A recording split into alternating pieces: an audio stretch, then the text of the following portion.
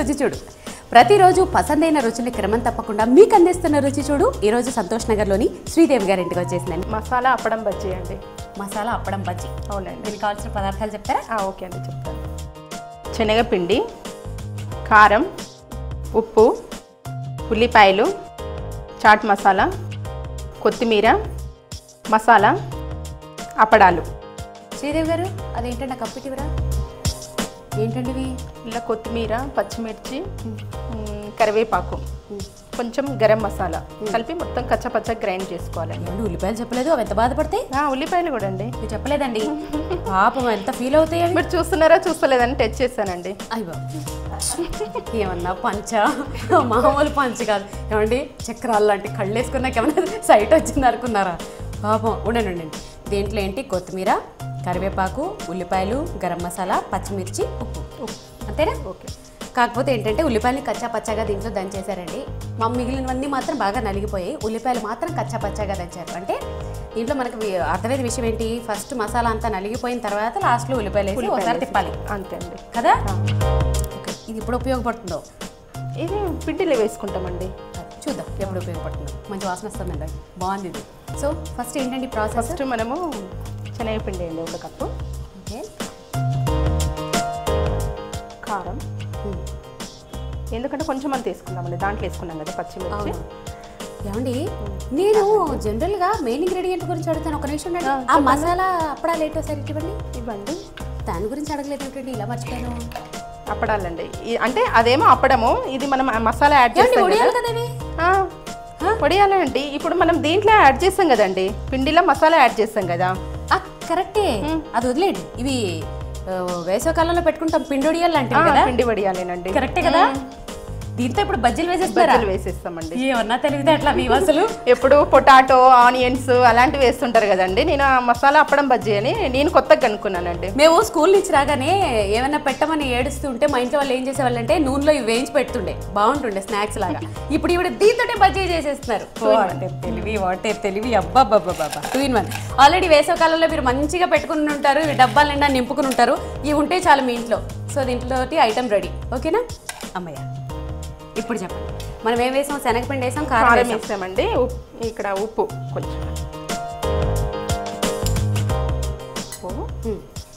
మసాలా అండి అదే ఇంతకు ముందు మనం తయారు చేసి పెట్టుకున్నాం కదా మసాలా. ఓకే ఇప్పుడు? ఆనియన్స్ కొన్ని వేసుకుందామండి. ఓకే మసాలా ఆనియన్స్తో పాటు ఈ ఆనియన్స్. కొత్తిమీర. మళ్ళీ తర్వాత పైన వేసేసుకుందాము. ఓకే. చాట్ మసాలా ఎప్పుడు వేస్తాం మొత్తం అయిపోయినాక మనం మధ్యలో వేసుకొని ఆనియన్ పెట్టుకొని పైన వేసుకోవాలి. నిమ్మకాయ అప్పుడు వండుకొని తినాలి. చాలా టేస్ట్ ఉంటుంది. ఓకే. మీరు ఎలా చెప్తే అలా. వేడి చేసుకుందామండి నూనె? ఆయిల్ పెట్టుకుందామా?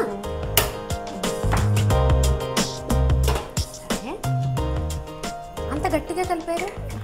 కొన్ని వాటర్ వేసుకుందాం. అంటే దానికి పట్టాలి కదా అప్పడానికి.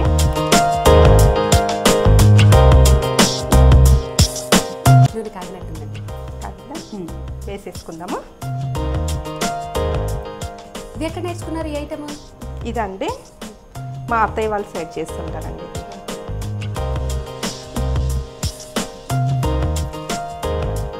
సో ఈ విధంగా బజ్జీలాగా వేసేసుకోవడం వేసేసుకోవాలి. సో మీరు బజ్జీలు వేస్తూ ఉండండి. ఇప్పటివరకు జరిగిన ప్రాసెస్ మన వాళ్ళకి ఒకసారి చెప్పండి ఓకే అండి. చూస్తున్నారు కదండి? మసాలా అప్పడంతో బజ్జీ తయారు చేసుకోవడానికి ఫస్ట్ మసాలా అప్పడం అంటే ఏం లేదండి. పిండుడియాలు పెట్టుకుంటాం కదా? వేసవకాలంలో ఆల్రెడీ అందరూ పెట్టుకునే ఉంటారు. అది తీసుకుని పక్కన పెట్టుకోండి. ఫస్ట్ మనం ఏం చేయాలంటే శనగపిండి ఉప్పు కారం గరం మసాలా అలాగే కొత్తిమీర ఫస్ట్ మసాలా తయారు చేసుకోవాలి. తను చెప్పారు కదా ఉప్పు కారము కొత్తిమీర ఉల్లిపాయ ముక్కలు గరం మసాలా అవన్నీ వేసేసుకుని కొంచెం మిక్సింగ్ లాగా తయారు చేసుకున్నారు కదా అవి కూడా వేసుకుని కొంచెం ఉల్లిపాయలు వేసుకుని ఆ పౌడర్ కూడా వేసేసుకుని బజ్జీ పిండిలాగా తయారు చేసుకుని ఈ పిండి ఉడియాల్ని దాంట్లో కలిపేసుకుని బజ్జీలాగా వేసేసుకోవడం. రెడీ అవుతున్నాయి చూద్దాం. వేగిపోయినాయండి. తీసుకుందామా? తీసేసుకుందాం. లోపల కూడా వేగి కరకరలాడుతూ భలే టేస్టీగా ఉంటాయి చాలా టేస్ట్ ఉంటాయండి ఇప్పుడు చాట్ మసాలా చాట్ మసాలా వేసుకోవాలండి